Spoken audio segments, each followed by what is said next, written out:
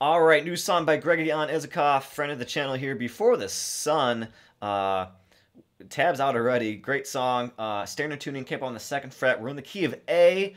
I'm going to talk some stuff about music theory, but really just trying to stay in the realm of in the key of A. Just try to ignore that the fact that the capo is on there because our chord shapes are going to be G, C,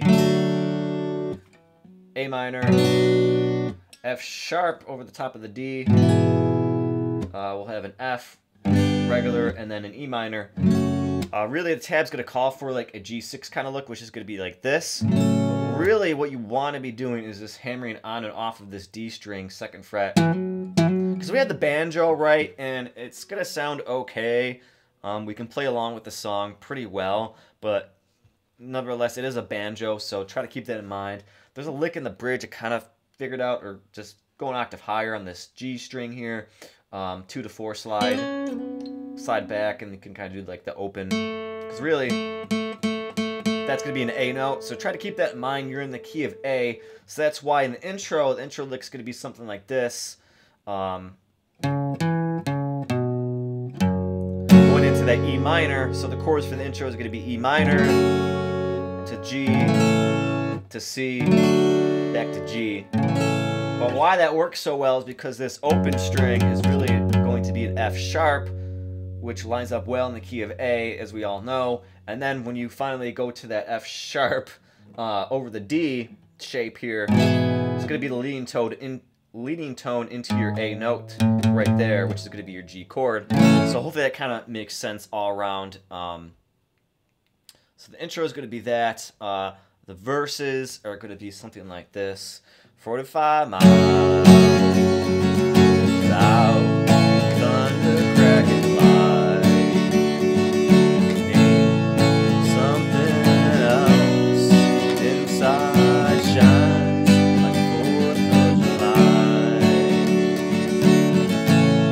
this is the part after that C at the end of the line here for this G. That's when you really want to do like your G6s or just kind of messing around with that hammer on on the second fret there of the D string. And then kind of think, like I said, you're in the key of A, so just like think of notes that are going to be in your realm here that work in the key of A. Um, now we don't go down to what's this called as the chorus. I'll go down on my own.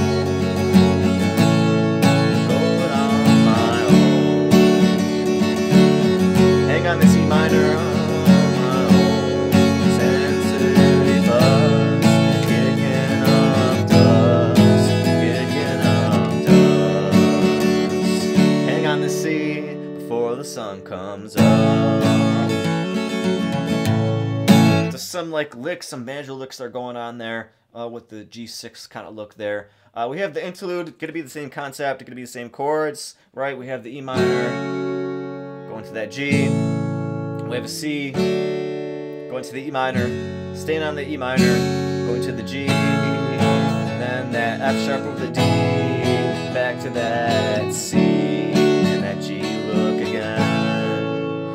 We're going to have uh, verse 2 is what's this being called as The Devil Sees Us Now. Same concept as verse 1, not going to spend too much time on it. Um, there are the chords there. Then goes to the chorus, uh, so I'll go on my own. It's a very short song, but very good, very simple. I think we can translate it well to the one guitar here from the banjo that's being played. Um, so I think that's about it. Uh, don't want to ramble too much. Um, revert back. Um, and if you got any questions, let me know. Uh, hopefully I didn't really confuse anybody with the uh, key of A talk, but um, I want people to learn that more because a lot of people don't understand what the capo is really doing or just think like they can um, do a G shape, right? And then take the capo off and think it's the same song while doing the G shape again. It's it's not. It's totally not. Um, so when you have capo on the second fret and you're playing a G shape, G chord, it's really good to be an A major. Um, because then once we take the capo off, you you have to do a bar chord.